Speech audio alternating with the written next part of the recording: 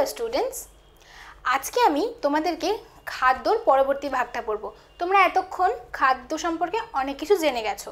কিন্তু এবার আমরা পরবর্তী ভাগ, যেটার নাম হচ্ছে প্যাকেট করা খাবার, সেই ভাগটা পড়ব। এই ভাগে আমরা বিভিন্ন রকমের প্যাকেট করা খাবার সম্পর্কে আলোচনা করব। এর আগে তোমরা যা যা পড়েছো সবই ফল, মূল, সবজি, বাড়িতে রান্না করা খাবার, এই সমস্ত নিয়ে আলোচনা করেছ। কিন্তু এবারই প্যাকেট করা খাবার নিয়ে আমরা আলোচনা করব। প্যাকেট করা খাবার সম্পর্কে কিছু তোমাদেরকে বলি। ধরো আলু ভাজা, তোমরা বাড়িতেও রান্না করে খাও, খেতে পারো, আবার বাইরেও প্যাকেট করে কিনতে পাওয়া যায়, তাই তো? কিন্তু দেখবে বাড়ির আলু ভাজা কিন্তু বেশি দিন তুমি রাখতে পারবে না। কিন্তু বাইরের আলু ভাজা বেশ কয়েকদিন ভালো থাকে। কেন? কারণ কি ওটা ওইভাবে তৈরি করা হয়, কিছু মেশানো হয় তাতে, যাতে নাকি আলু ভাজাটা আরও বেশি দিন থাকে খাবারটা বেশি দিন ভালো থাকে। তাই এবার দেখো, এই প্যাকেট করা খাবার সম্পর্কে আমরা আরও বিস্তারভাবে এখানে আলোচনা করব। দেখো, প্রথম প্রশ্নটা কি আছে? প্যাকেট করা খাবার কি?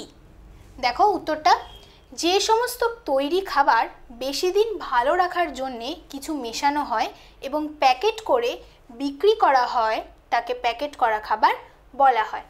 কি বলছে? যে যে সমস্ত খাবারকে মানে তৈরি খাবারকে আমরা কিন্তু আলু ভাজা, আলু দিয়ে দেয় না, যেটা আমরা বাড়িতে এসে ভেজে খেতে হবে। না, তা নয়। আলু ভাজাটা একদম ভেজেই বিক্রি হয়। তাছাড়া চানাচুর আছে, ওগুলো কি আমাদের বানাতে হয়? না, ওগুলো তৈরি করা থাকে। তো ওই তৈরি করা খাবারকেই প্যাকেজিং করা হয় এবং কিছু তো মেশানো হয়, যার জন্যে খাবারটা বেশি দিন অবধি ভালো থাকে। তাই তো? এবার আরেকবার প্রশ্নের উত্তরটা পড়ো। যে সমস্ত তৈরি খাবার বেশি দিন ভালো রাখার জন্যে কিছু মেশানো হয় এবং প্যাকেট করে বিক্রি করা হয়, তাকে প্যাকেট করা খাবার বলা হয়। এবার পরের প্রশ্নটা পড়ি। দেখো, কয়েকটি প্যাকেট করা খাবারের নাম লেখো। এবার দেখো উদাহরণ। কি আছে দেখো? প্যাকেট করা চানাচুর, নিমকি, আলু ভাজা ইত্যাদি। এছাড়াও তোমরা চিপস, কেক, বিস্কিট, এগুলো সবই কিন্তু প্যাকেট করা খাবার। একদিনে বা দুদিনে কিন্তু খাবারগুলো নষ্ট হয়ে যায় না। বেশ কিছু মাস ধরে খাবারগুলো ভালো থাকে। তো কয়েকটি প্যাকেট করা খাবারের কি কি আমরা পড়লাম না প্যাকেট করা চানাচুর, নিমকি, আলু ভাজা ইত্যাদি। এর পরের প্রশ্নটা দেখো, পাউরুটি কীভাবে তৈরি করা হয়? দেখো উত্তরটা, আগুনে সেঁকে পাউরুটি তৈরি করা হয়। এই যে খাবারের নামগুলো তোমরা পড়লে, চানাচুর, নিমকি, আলু ভাজা, এগুলো কিন্তু সব তেলে ভাজা, তাই তো? তেলে ভাজা খাবার। কিন্তু পাউরুটিও একটা প্যাকেট করা খাবার। পাউরুটি কিন্তু তেলে ভাজা হয় না। কি হয়? আগুনে সেঁকে পাউরুটি তৈরি করা হয়। এবার পরের প্রশ্নটা দেখো। প্যাকেট করা খাবার কেনার সময় অবশ্যই কি দেখে কেনা উচিত? এটা কিন্তু ভীষণ গুরুত্বপূর্ণ। তোমরা যে কোনো প্যাকেট খাবার কিনতে গেলেই দেখবে প্যাকেটের মধ্যে একটা ডেট থাকে, একটা তারিখ থাকে। সেই তারিখটা আমরা দেখে কিনবো। দেখো, উত্তরটা আগে দেখে নিই। প্যাকেট করা খাবারে অবশ্যই তারিখ দেখে কেনা উচিত। দেখবে প্যাকেট করা খাবারে একটা এক্সপায়ারি ডেট থাকে। সেটা কি হয়? একটা থাকে ম্যানুফ্যাকচারিং ডেট একটা এক্সপায়ারি ডেট সেই এক্সপায়ারি ডেটটার মধ্যে আমাদেরকে খাবারটাকে খেয়ে ফেলতে হবে, নইলে খাবারটা কিন্তু নষ্ট হয়ে যাবে।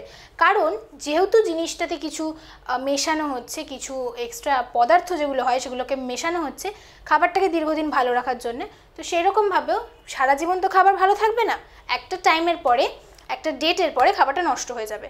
তো সেই এক্সপায়ারি ডেটটা আমাদের অবশ্যই দেখে কেনা উচিত, কারণ কি এক্সপায়ারি যদি কোনো ডেট পেরিয়ে যায়, এরকম খাবার কিন্তু আমরা দোকান থেকে কিনবো না, তাই তো? তাই অবশ্যই এটা কিন্তু খুব ভালোভাবে মাথায় রাখবে, শুধু পড়ার জন্য নয়, তোমাদের জীবনেও কিন্তু এই জিনিসটা মানতে হবে। প্যাকেট করা খাবারে অবশ্যই তারিখ দেখে কেনা উচিত, ঠিক আছে? বুঝতে পেরেছ? চলো, আমরা আরেকবার প্রথম থেকে এগুলো পড়ে নিই। প্যাকেট করা খাবার কি? যে সমস্ত তৈরি খাবার বেশি দিন ভালো রাখার জন্যে কিছু মেশানো হয় এবং প্যাকেট করে বিক্রি করা হয়, তাকে প্যাকেট খাবার, প্যাকেট করা খাবার বলা হয়। পরের প্রশ্নটা দেখো। কয়েকটি প্যাকেট করা খাবারের নাম লেখো। প্যাকেট করা চানাচুর নিমকি আলু ভাজা ইত্যাদি। পরেরটা দেখো, পাউরুটি কীভাবে তৈরি করা হয়? আগুনে সেঁকে পাউরুটি তৈরি করা হয়। পরের প্রশ্নটা দেখো, প্যাকেট করা খাবার কেনার সময় অবশ্যই কি দেখে কেনা উচিত? দেখো উত্তরটা কি লিখেছি? প্যাকেট করা খাবারে অবশ্যই তারিখ দেখে কেনা উচিত। তোমরা কিন্তু এগুলো যেটা শুধু পড়ছো তা নয়, অবশ্যই মনে রাখবে, মুখস্থ তো করতেই হবে। কিন্তু তার সাথে সাথে এগুলো কিন্তু প্যাকেট করা খাবার স্পেশালি কারণ কি বাড়ির খাবার যতটা স্বাস্থ্যপূর্ণ হয়, ততটা, যতটা ভালো আমাদের শরীরের জন্য, যতটা উপকারী, ততটা কিন্তু প্যাকেট করা খাবার হয় না। বরং বাড়ির খাবারই সবাই দেখবে, খেতে বলে। বাড়ির খাবারই বেশি করে খাবে, প্যাকেট করা খাবার কম খাবে। যতটা সম্ভব কম খাবে। আর অবশ্যই তারিখ দেখে যে কোনো খাবার কিনবে, সেটা যদি এক্সপায়ারি ডেট ওভার করে গিয়ে থাকে, তাহলে সেরকম বাসি বা বাজে খাবার কিন্তু কিনবে না, তাহলে তোমাদের শরীর খারাপ হতে পারে। তাহলে এগুলো অবশ্যই ভালো করে পড়বে আর নিজেদের জীবনেও এগুলো মেনে চলবে।